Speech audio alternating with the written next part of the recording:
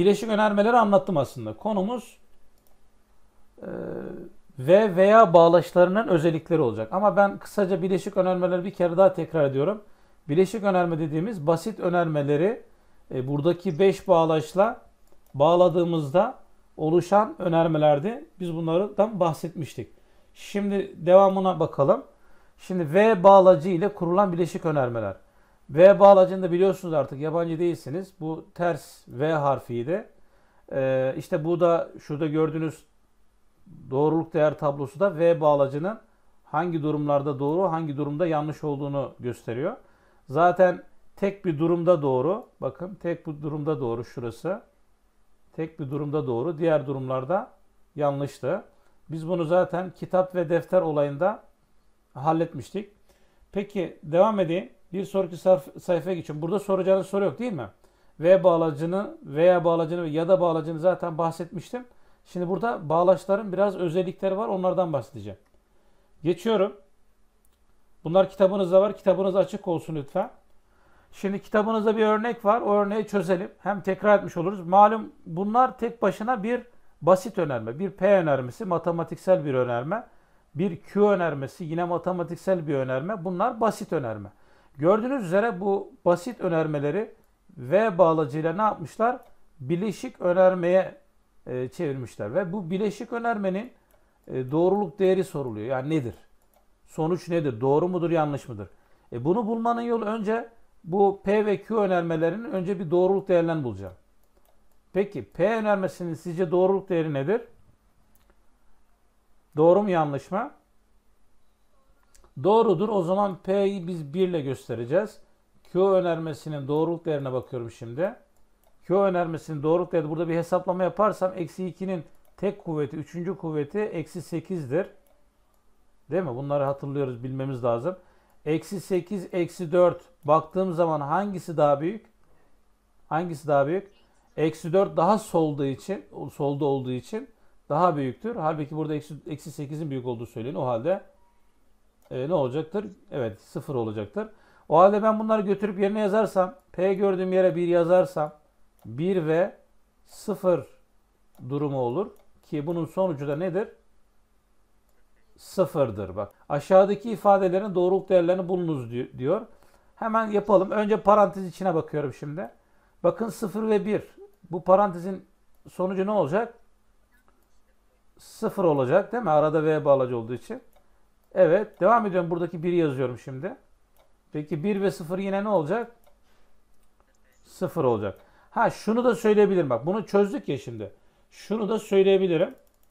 Şimdi bakın eğer bak bu çok önemli. Al, kulaklarını aç beni iyi dinle. Eğer bir sürü parantez olsun burada. Bir sürü parantez. Burada bir tane parantez var. Ve bütün semboller aynıysa veya ya da V sembolü için konuşuyorum yalnız dikkat edin. Aynıysa ne yapacaksınız? E diğer sembolleri de geçerli ama ne yapacaksınız? E, parantezleri kaldırma hakkınız var. Yani semboller aynı aynı ise ki burada aynı parantezleri kaldır. E, parantezleri kaldırdığınızda da şöyle bir durum var. Biz bunu geçen derste söylemiştik. Arada şimdi burada bir sürü e, bir şey olsun. E, nedir o? Bileşik önerme olsun. Uzun. Uzun bileşik önerme olsun. Aradaki sembol V bağlacıysa bir tane sıfır olması ne yapıyor? Bu ifadeyi olduğu gibi sıfır yapıyor demiştim. Daha önceden bunu konuşmuştuk gençler. Neyse bu A şıkkını çözmüş olduk. Geçiyorum B şıkkına. Evet e, hatta hemen bunun sonucunu akıllı bir öğrencim der ki hocam bak burada bunun, bunun ne olduğu beni ilgilendirmiyor tamam mı? Buraya hiç bakmıyorum. Ya şimdi burada parantezin içinde ve dışında V bağlacı var aynı. Az önce söylemiştiniz hocam. E, bir tane sıfır olması zaten sonucun sıfır olmasına yetiyor. Ha uzun uzadıya çözmek istiyorsan birim değili sıfırdır. Sıfır ve sıfır ve bir hani uzun uzun çözüyorum yani anlayın diye başlangıç olduğu için. E 0 ve 0 sıfırdır. 0 ve 1 yine sıfırdır. Ama söylediğim gibi, söylediğim gibi aradaki bağlaçlar aynıysa ve aradaki bağlaçta V bağlacıysa bir tane sıfırın olması sonucu sıfır olarak etkiliyor, getiriyor yani. Geldik buraya. Şimdi e, öğrencim diyecek ki hocam bunun sonucu pratik olarak birdir. Akıllı öğrenci bunu diyecek. Neden? Çünkü hocam bunlar bir kere hepsi aynı. V bağlacı. Ben parantezi kaldırdım. Üstüne üstlük sıfırın değili de birdir. Sıfırın değili de birdir. Burada hiç sıfır yok hocam. O zaman sonuç garanti birdir. Ha uzun uzun çözmek istiyorsan burası birdir. E burası yine birdir. 1 ve 1 yine birdir. Ama dediğim gibi pratik olarak arada aynı sembol, aynı bağlaç varsa ve e, dediğim gibi e, sıfırda yoksa, V bağlacı var, sıfırda yoksa sonuç birdir. Ama bir sürü var burada. Bir sürü var. Bir sürü bir var. Bir var. Bir var. İçlerinde bir tane sıfır var. Arada da V bağlacı var. O zaman sonuç garanti sıfırdır. Bunları bilmemiz gerekiyor gençler. Bunları bileceğiz. Evet devam ediyorum. Şimdi e, V bağlacının bir özelliği var. Bir numaralı özellik. Tek kuvvet özelliği. Bu da nedir? Ona bakacağız. Bununla ilgili sorular var. O yüzden bileceğiz. Şimdi gençler P ve P P'ye denktir. Tamam mı? Yani iki önerme, yani bir ön, önermem var elimde. Aynı önerme. Arada V bağlacı varsa sonuç o önermenin doğruluk değerine eşittir. E, mantıklı. Çok mantıklı. Eğer benim önermem doğruysa 1 ve 1 durumu olur. E, sonuç 1 olur. Yani kendisine eşit olur. Eğer P önermem yanlışsa e, yanlış ve yanlış olur. Sonuç ne olur? Yanlış olur. Anlaşıldı mı? Peki aşağıdaki tablo ne oluyor? Aşağıdaki tablo e, buradaki şöyle yapalım. E, buradaki ifadeleri şöyle siliyorum. Şöyle yapayım. Aşağıdaki tablo gençler buradaki ifadenin bir nevi ispatıdır. Tablo olarak ispattır. Tamam mı? Yani şuradaki bana verilen tek kuvvet özelliğinin tablo olarak ispatıdır. Çok da lazım değil ama incelersiniz. Tamam Anlaşılma bir durum var mı? Şuna biz çerçeve için aldığım kısma tek kuvvet özelliği diyoruz. Peki veya bağlı birazdan veya bağlacının özelliğini de göreceğiz. Orada da tek kuvvet özelliği var. Şimdiden söyleyeyim. Yani P veya P de yine P'ye eşittir. Biz buna veya bağlacının tek, tek kuvvet özelliği diyeceğiz. E buna da V bağlacının tek kuvvet özelliği diyeceğiz. Şimdiden bilin. Geçiyorum. Var mı soracağınız soru? Anlayarak gidiyoruz değil mi? Sıkıntı var mı? Evet. Neyi anlamadın yavrum?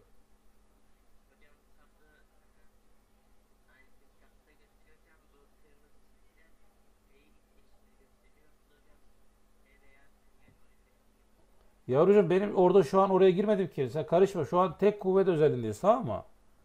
Yani tek kuvvet özelliği önerme bir önerme var elinde.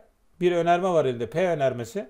Bu P önermesini kendisiyle birleştirdiğiniz zaman arada V bağlacı varsa kendisinin doğruluk değerine eşittir. Tamam mı? Veya bağlacı varsa da kendisinin doğruluk değerine eşittir. Çünkü sen P önermesinin doğru ya da yanlış olduğunu bilmiyorsun. Sadece e, P önermesini birleştiriyorsun. Kendisiyle birleştiriyorsun. V bağlacı da olsa veya bağlacı da olsa kendisinin doğruluk değeri neyse sonuç ona eşittir. Bak burada az önce söylemiştim, yazmıştım. Dediğim gibi videoda bunu kayıt altına alıyorum. Bakarsın tamam mı? Dondurursun bakarsın. Devam ediyorum. Zaman kısıtlı ya o anlamda. Zamanımızı iyi kullanalım. Devam etmek istiyorum. Şimdi iki numaralı özellik değişme özelliği. Gençler değişme özelliği şudur. Toplamanın malum değişme özelliği var. Mesela örnek vereyim. Şimdi 2 artı 3 eşittir 5. Değil mi? E yerlerini değiştirirsem, önceliği 3'e verirsem, 3 artı 2 dersem sonuç yine ne olacak? Değişmeyecek. Biz buna ne diyoruz o zaman? Biz diyoruz ki toplama işleminin değişme özelliği vardır diyoruz. Aynı şekilde çarpma işleminin değişme özelliği de var. 3 kere 2 6. Yerini değiştiriyorum. 2 çarpı 3 diyorum. Yine sonuç değişmiyor. Sonra biz buna ne diyoruz matematikte? Çarpma işleminin değişme özelliği vardır diyoruz. Peki peki e, o halde şöyle yapalım. O hepsi gidiyor. Ee, V bağlacının da V bağlacının da değişme özelliği var gençler. Şunları silemedik ama bir bakayım silmeye çalışacağım. Şurada sildim. Evet, burayı temizleyeyim ki şöyle bana lazım olur. Evet, şimdi özelliğimi e, özelliğim ne diyor? Özelliğim aynı toplama işleminin değişme özelliğinde olduğu gibi, çarpma işleminin değişme özelliğinde olduğu gibi yerlerini değiştiriyorum. Sağlı sollu. Yani burada P ve Q. Birinci ile ikincinin yerini değiştirdim. Q ve P. Sonuçlar yine aynı olacaktır. E bunun ispatını yine tablodan göstermiş bize. Tablodan. Bu tablo ispat olmuş olur. Bakın. Biliyorsunuz şimdi konuya yabancısınız. Ben yine e, sıfırdan alıyorum. Şimdi beni takip et. E, rengini kaleminde değiştireyim. Ne yapayım? Mavi yapıyorum. Takip et lütfen. Şimdi bak. iki tane önermem varsa P ve Q gibi iki tane önermem varsa iki sütun var söylemiştim. Değil mi? Şimdi iki önermem ikisi aynı anda doğru olabilir. Değil mi? Bunlardan bahsettiydim. Birinci önermem doğru iken ikincisi yanlış olabilir. Birinci yanlış iken ikinci doğru olabilir. Ya da ikisi de yanlış olabilir demiştim daha önceden. Şimdi bak burada ne var? P ve Q önermesi var. E ne demiştik biz?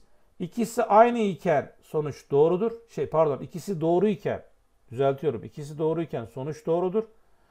Diğer üç durumda da sonuç yanlıştır demiştik. Bak çocuklar e, dersleri dediğim gibi bir önceki dersleri hazmetmezseniz bunlarla ilgili alıştırma yapmazsanız bu iş sarpa sarar çok da verimli olmaz. Anlatabiliyor muyum? Ne yapacağız? Bir önceki dersleri hazmedeceğiz, öğreneceğiz. Konuyla ilgili alıştırmalar, sorular inceleyeceğiz, çözeceğiz. Ha ondan sonra üzerine yavaş yavaş yeni konuları e, öğrenmeye çalışacağız. Yoksa bu şekilde e, yani eksik olur, zor olur, güç olur, kafanız karışır. Anlatabiliyor muyum? Sırayla gideceğiz bak. Bundan sonra dersler bu şekilde dijital. E ben size en azından yardımcı olsun diye bunların kaydını atıyorum ki hiç olmazsa bir kere daha bir kere daha bakma şansınız var. Anlamadığınız durumda da bana hemen yine telefonla, sorularla, örneklerle ulaşma şansınız var gençler. Lütfen söylediklerimi ihmal etmeyin bak. Lütfen diyorum. Altını çiziyorum. Şimdi bakın. Burası ne oldu? 1 0 0 0 1 olmadı mı? E oldu. Bakın yerleri değişti. Fark eden bir şey yok ki. Yani e, yine aynı şey e, ikisi doğruyken yine doğru. E, diğer üç durumda yani yanlış doğru doğru yanlış neyse ya da ikisi yanlışken yine yanlış. Bak ne oldu? Buradaki iki sütun birbirine eşit oldu. Yani bunlar birbirine eşit çıktı. E, o yüzden ne yapmış olduk? Bu eşitliği göstermiş olduk. Demek ki değişme özelliği varmış. Anlaşıldı mı? Anlaşılmayan bir durum var mı? Yani sen şunu çok güzel bil. Yani V bağlacının değişme özelliği vardır. Yani yerini değiştirsen de sırayı değiştirsen de sonuç değişmez. Ha diğer bağlaçları göreceğiz. Emin olun e, mesela bir, bir bağlacımız var ise bağlacı. Orada öyle değişme özelliği falan olmayacak. Tamam mı? Geçiyorum şimdi. Geçiyorum. Soracağın soru yoksa geçtim bir sonraki ekrana. Birleşme özelliği 3 numaralı özelliği. Yine V bağlacının birleşme özelliğini görüyoruz. Gençler birleşme özelliği de aslında şudur. Bak toplamada örnek veriyorum ben sana toplamada. 2 artı 3 artı diyelim ki 7. Ya gençler ben bu toplamayı yaparken hep ikili olarak önce yani şunu şöyle yapabilirim. Önce şu ikisini toplarım. Şu çıkanla üçüncüyü toplarım. Veya veya son ikisini toplarım. Sonra çıkanla ilk baştakini toplarım. Ha biz buna ne diyoruz? Birleşme özelliği diyoruz. Ve yazarken şöyle yazıyoruz bak. Diyoruz ki ilk ikisini önce toplarım. Sonra üçüncü ilave ederim. Veya ne diyorum? Şöyle yapabilirim. Ee, baştakini alır, yani son ikisini alır topları. 3 artı 7. Ve sonuçlar gördüğünüz gibi değişmiyor. Bakın sonuç her halükarda 12'ye gidiyor değil mi? 12 eşit oluyor. İşte sonuçlar değişmediği için değişmediği için biz buna ne diyoruz? Toplama işleminin değişme özelliği şey pardon toplama işlemi düzeltiyorum birleşme özelliği vardır diyoruz. Burada da böyle bir durum söz konusu. Yani V bağlacının bakın üçlü V bağlacının birleşme özelliği vardır. Nasıl yani hocam? Benim elimde 3 tane e, önerme varsa aradaki bağlaçlar da V ise bak aradaki bağlaçlar V ise fark etmez. İlk ikisini işlem yaparım. İlk, ilk, iki, ilk ikisinin sonucuna bakarım. Sonra üçüncüyle sonuca bakarım. Veya son ikisinin sonucuna bakıp oradan çıkan sonuçla ilk baştakine bakarım. Sonuç değişmez. Aynı çıkar. Ve bunun ispatı yine tabloda uzun uzun incelersiniz. Lütfen inceleyin. Uzun uzun e, burada özelliği var. Şimdi ben bu tabloyu sabahtan akşama kadar da bahsetsem anlayan aynı öğrenci oluyor. Anlamayan yine aynı öğrenci oluyor. Değişen bir şey olmuyor. Siz bunu şöyle bir inceleyin tamam mı gençler? Yani burada ispatı var. Bakın burada nasıl yapmış ben bir örnek göstereyim. Şimdi e, ispatta şu P ve Q'yu bulmaya çalışmış. Hani şurada var ya burada bana lazım çünkü. P ve Q nasıl bulacağım? Bir P'ye bakacağım. bir Q'ya bakacağım. Bir P'ye bir Q'ya. Bak mesela nedir? 1 1 ne olur? 1 1 aynı olduğu için 1 olur. Bak aynı olduğu için demek istiyorum. İkisi doğru iken ikisi doğru iken doğru bak. Doğru. Bak farklı iken yanlış. Gördünüz mü? Farklı iken yanlış. Hatta ikisi yanlışken yine yanlış. Ne zaman sadece doğru? İkisi doğru iken doğru. Gördünüz mü? Aynı şekilde işte Q ve R'de de böyle bir durum geçerli. Q ve R'de de geçerli. Onu da ben bir şey yapayım. Q ve R. E, Q nereye bakacaksın? Q, bir Q'ya bakacaksın, bir R'ye bakacaksın. Bak ikisi doğruyken doğru. E, bunlar incelersiniz. Bak yanlış. Bak yanlış. Niye? Çünkü biri doğru, biri yanlış. Bak ikisi yanlış, yanlış. Bak ne zaman doğru? Bak yine bak burada ikisi doğruyken yine doğru. Sonra bu çıkanların her birini şöyle yapmış. Mesela bununla mesela bununla R'yi düşünmüş. Mesela bu sütunla şu sütunla ne hangi sütun? Şu sütun. Şu iki sütuna bakmış. Nereden nereyi doldurmak için? Şurayı doldurmak için. Şu iki sütuna bakmış. P ve Q yani şu P ve Q bunun sonucu sonucuyla R'ye bakmış. Yani şu ikisini karşılaştırmış bak. Şunları karşılaştırmış. Tamam mı? Peki şöyle bir düzelteyim. Bunları karşılaştırmış ne olmuş? Onlara bir bakalım. Yani çocuklar bunlar dediğim gibi zaman alıcı şeyler. Yapacak bir şey yok. İspatını yapmış yani. Tabloda ispatını yapıyor. Çoğu okulda bunlara pek de değinmiyorlar. İspatı vardır diyor geçiyor. Biz hadi diyelim kafanız karşı yapmasın diye görelim dedik. Bak şu iki şurayı doldurmak için, şurayı doldurmak için nereye bakmam lazım? Şu iki sütuna bakmam lazım. Bak okla gösterdim. Şimdi 1 ve 1 1 ve 1 ne olur? E 1 olur. Bak 1. 0 ve 1 ne olur? E 0 olur, değil mi? 1 0 ne olur? E 0 olur. 0 0 e 0, değil mi?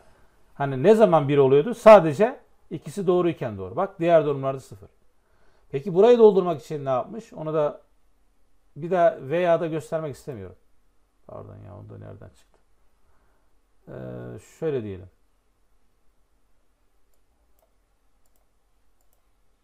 Onu da neyle göstereyim? Yeşille göstereyim. Mesela burayı doldurmak için nereye bakması icap eder? Q ve R'ye yani şuraya Q ve R'ye bir de neye? P'ye yani şuraya. Demek ki şu iki sütuna bakarak şu iki sütuna bakarak nereye dolduruyor adam? Şuraya dolduruyor. E bakalım. Şimdi 1 1. E ne olacak? 1 1. E 1 olacak. İkisi doğru çünkü. Peki 1 0 e 0. Bakarsanız buradan zaten bunlar hep 0 oluyor bak. Neden? Bir tek durumda 1 oluyordu değil mi? İkisi 1 olduğu zaman 1. Diğer durumlarda 0. Uzatmayalım. O zaman demek ki e, şu iki sütun birbirine eşit çıktığı için, şurada çerçeve için aldığı iki sütun birbirine eşit çıktığı için ne yapmış oldu aslında? Bir nevi ispatını ispatını yapmış oldu. Tamam gençler? Senin bilmen gereken buradan çıkan sonuç şu. Ee, nedir? Birleşme özelliği tıpkı toplamada olduğu gibi, tıpkı toplama olduğu, toplamada olduğu gibi, çarpmada olduğu gibi vardır. Sorusu olan var mı bu noktada? Sen bu özelliklerin sana, sana ispatını soracak halimiz yok. Sadece bunları yeri geldiği zaman kullanacaksın. Geçiyorum. Evet. Geldik şimdi bununla ilgili soru çözümüne. Yani ne yapacağız? E çok basit. Parantezlerin içine yapacağız. P ve P neydi sonuç? P ve P. P ve P P'dir değil mi? Hani tek kuvvet özelliği. Öyle anlatmadım ben size az önce. P ve P P'dir. O zaman 1 e, ve parantezin sonucu P. Tamam. Şimdi bunun sonucu ne? Bu çok güzel. Buna dikkat edelim. Bunun sonucu neye bağlı? Neye bağlı? P'ye bağlı. Çünkü senin P'n 1 olursa e, 1 olur. 0 olursa 0 olur. O zaman bunun sonucu direkt P'dir diyeceğiz. Buralar, buralara önemli bak. Yıldız koyuyorum. Bu tür, bu tip sorulara daha yeni görüyorsunuz. Bak tekrar söylüyorum. Bir kere daha çözüyorum sizin için. Lütfen takip edin. Bir kere daha çözüyorum. A şıkkını bir kere daha çözüyorum. Önemli çünkü. Parantezin içi tek kuvvet özelinden P'dir. Bunu hallettik. Şu V bağlacı. Şuraya yazdım. 1 ve P neye eşit? Aklımızı mantığımızı kullanacak olursak e, P neyse sonuç odur.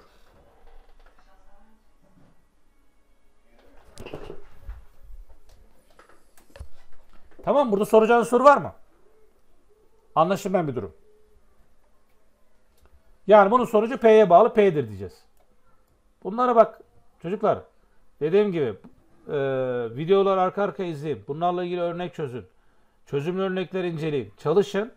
Bunları bu şekilde öğrenebiliriz. Aksi takdirde pes etmek yok. Mücadele edeceğiz. Sonuna kadar mücadele. Devam ediyorum şimdi.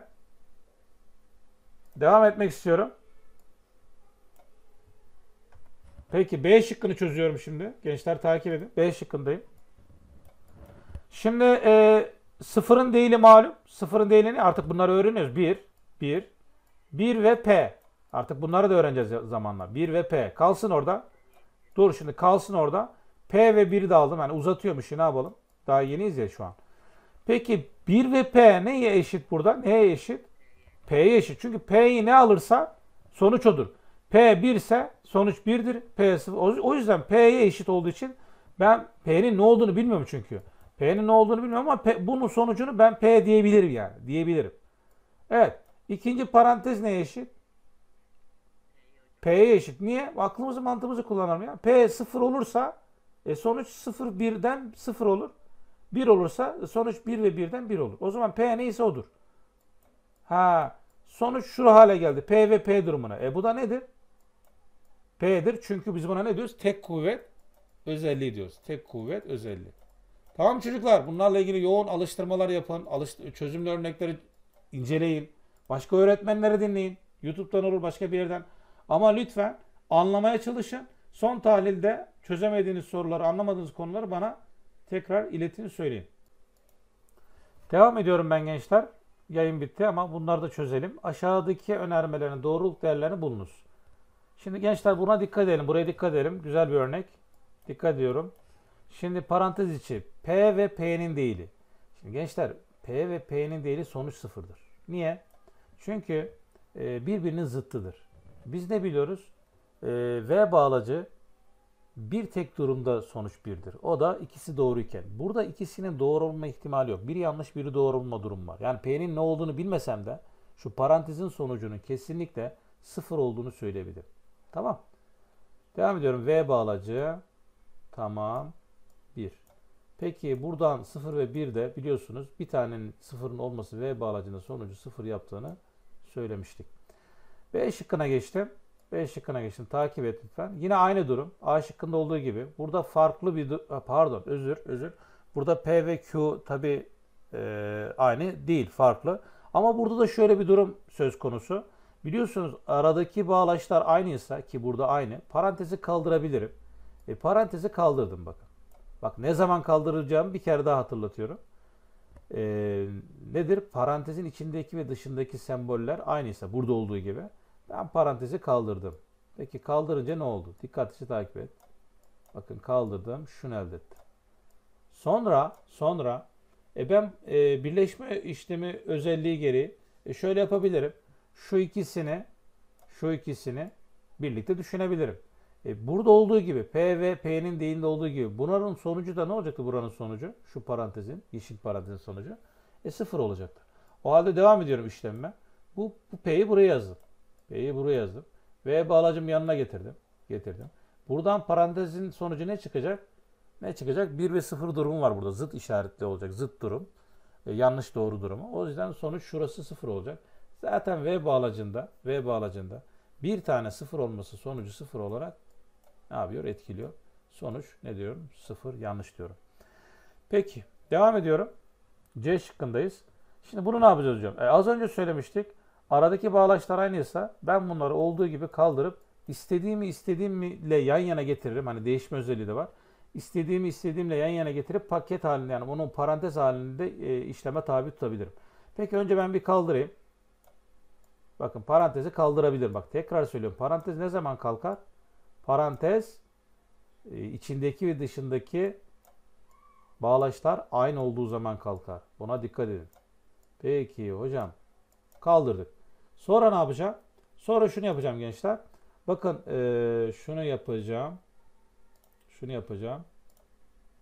Şimdi e, burada Q ile Q'yu aynı parantez alacağım. Bunu yapabilirim. Yani değişme özelliğine dolayı. İstediğim istediğimle yan yana getiriyorum. Sonra P ile de P'nin değilini aynı parantez atacağım. Peki söylediğimi yapıyorum. P evet V bağlacı var. P'nin değili. Evet. Yine V bağlacı var. Çünkü bağlaçların hepsi V bağlacı. Burada da Q ve Q'nun değili. Peki. Sonuç ne olacak gençler? Şurası zıt olacak yine. Doğru yanlış durum olacak. Biliyorsunuz zıt olduğu zaman, doğru yanlış durum olduğu zaman aradaki bağlaç V olduğu için sonuç kesinlikle yanlış. Zaten bir tane yanlış olması şurayı beni ilgilendirmiyor. Sonucun yanlış olduğuna yeterlidir. E burada yanlış. Yanlış yanlış ne oluyordu? Arada V bağlacı olduğu zaman yanlış ve yanlış yanlış oluyordu. Sıfır oluyordu. Peki Ç şıkkını da çözüyorum. Ç şıkkını çözüyorum şimdi takip et. Ee, biliyorsunuz hiç akıllı öğrencim der ki hocam bunun sonucu kafadan bir. Şey özür kafadan sıfır. Niye? Ya hocam bütün bağlaçlar aynı. Ben parantezleri kaldırdığım zaman hepsi V bağlacı. E bir tane sıfır olması zaten sonucun sıfır olması için yeterli bir sebeptir diyoruz. Olayı bitiriyoruz. Ama bunu uzun uzun çözmek istersek de şöyle çözeceğiz. Yani sonuç sıfır ama uzun çözmek istersek. Şimdi burası ne olacak buradan? Buradan sıfır gelecek. Çünkü bir tane sıfır olması sonucu V bağlacı için sıfır olmasına yetiyordu. Sıfır V. E bura ne olacak? Burası Q'ya bağlı değil mi? Q neyse sonuç odur. Q sıfırsa sıfırdır. Q 1 ise 1'dir. Dolayısıyla Q'ya bağlıdır. Ha 0 ve Q e, sıfırdır. Burada Q'ya bağlı değildir. Çünkü burada V bağlacı var. Sonuçta e, bir tane sıfır olması sonucu sıfır olması için yeterlidir diyoruz. Bu şekilde ayrıntı olarak olarak şeyi ne yapmış olduk? Çözdük. Pratik olarak da ne dedim? Direkt sıfır diyebilirsiniz. Çünkü aradaki bağlaçlar V bağlacıdır. Parantezleri kaldırdığım zaman bir tane sıfır olması sonucu sıfır olarak etkiler diyoruz. Peki. Evet veya bağlacını da bir sonraki ders göreceğiz.